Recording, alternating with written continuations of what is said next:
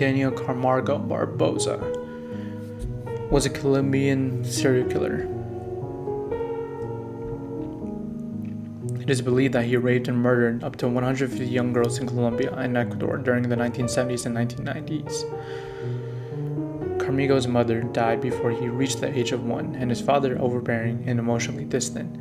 Afterwards, his father married another woman, Dioselina Fernandez, who had infertility problems. This caused his new stepmother to become abusive to Daniel, humiliating him in various ways. One of which she dressed him up as a girl, forcing him to go to school that way to where his peers and classmates would make fun of him.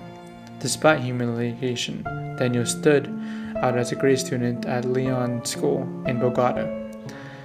With a report IQ of 110, however, his desire to continue studying was hampered when he was forced to drop out of school to help his family financially. Crimes and imprisonment. He was uh, first arrested in Bogota on May 24th, 1958, for petty theft. Camargo had de facto union with a woman named Alikiria and had two children with her.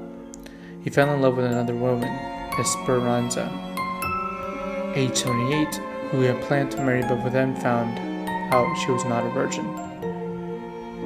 This became the root of Camargo fixations. He and Esperanza formed an agreement that he would stay with her if she had aided him to find other virgin girls to have sex with. This began a period of partnerships and crime. Esperanza was Camargo's accomplice, luring young girls to an apartment under false pretenses and then drugging them with social Selcano sleeping pills so that Camargo would, could rape them. Camargo committed five rapes in his way, but did not kill any of the girls. The fifth child, they were abused on his way to report a crime. And both Camargo and Esperanza were arrested, taken to separate prisons. Camargo was convicted of sexual assault in Colombia on April 10th, 1964. A judge sentenced Camargo to three years in prison, and Camargo was initially grateful for the perceived legitimacy of the judge swearing to repent and mend his ways. However, a new judge was given precedence over the case, and Camargo's sentence was to eight years in prison. That provoked Camargo to be rebellious. He served his full sentence and then was released in 1973. He was released in Brazil for being undocumented due to a delay in sending Carmel criminal records from Colombia He was deported and released uh, with his false identity. When he returned to Colombia, he took up a job as a street vendor selling television monitors. One day, when passing by school, he kidnapped a nine year old girl. After raping her, he murdered her so that she could not inform the police, as his previous victim had done. This was his first assault involving murder. Camargo was arrested May 3, 1974, Colombia, when he returned to the scene of crime to recover television screens that he had left beside with the victim. Even though it was believed that he raped and killed more than 80 girls in Colombia, Camargo was imprisoned in Colombia after being convicted of raping a nine year old girl. He was initially sentenced to 30 years in prison, but his sentence was reduced to 25 years in prison, and he was interned in the prison on the island of Gorgona, Colombia, in December 24th, 1977. In November 1894, Camargo escaped from the Gorgona prison known as Colombia Alcatraz in his primitive boat while having carefully studied the ocean currents. The authorities assumed that he died at sea, and press reported that he had been eaten by sharks. He eventually arrived on Ecuador. He traveled to, by bus on December 5th, 1984. And on December 18th, he abducted a nine year old girl from the city, Ecuador. The next day, the 10 year old girl disappeared. From 1984 to 1986, committed Camargo committed a series of 54 rapes and murders. The police first the police first believed that all the deaths were work out of a gang, not understanding that one man could have killed so many.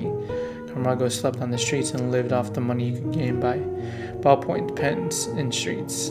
Occasionally, he supplemented them in his income by selling clothing or small valuables belonging to his victims. Camargo selected helpless young lower caste girls in search of work and approached them pretending to be a foreigner who needed to find a Protestant pastor in church on the outskirts of town. He explained that he had to deliver a large sum of money, which he showed them as proof, and he offered them as reward if they would accompany him to show his way.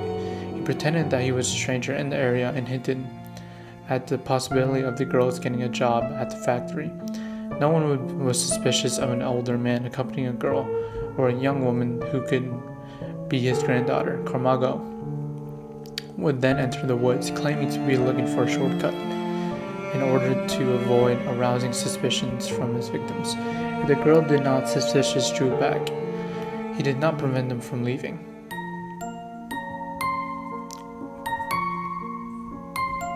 Camargo raped his victims before strangling them, sometimes stabbing them when they would resist when they resisted. After the victims were dead, he left their bodies in the forest.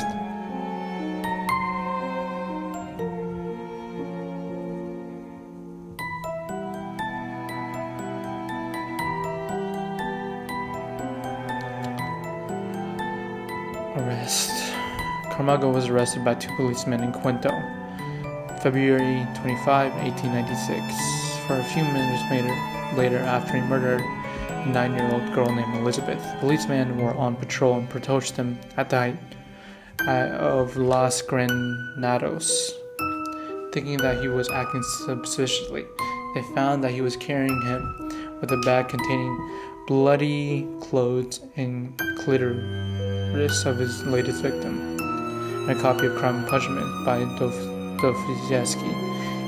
He was taken to custody and later moved to a different place for identification. He was arrested under a false name, Manuel Bulgarin Solis, but later identified by Maria Alexandra, who was one of his rape victims, had escaped. Daniel Camargo calmly confessed to 72 girls killing in Ecuador since escaping Colombian prison. He led authorities to dumping grounds of those whose bodies who had not yet been recovered. The bodies had dismembered, while he told Ecuadorian authorities the locations of the bodies how sadistic crimes they were committed. He showed no feelings of remorse. After raping his victims, he hacked, slashed, and crushed the girls with a machete. He gave cynical explanation for choosing children. He wanted virgins because they cried. This apparently gave him greater satisfaction. According to Margot, he killed because he wanted revenge on the women's unfaithfulness. He hated them for not being what he believed women were supposed to be. Interview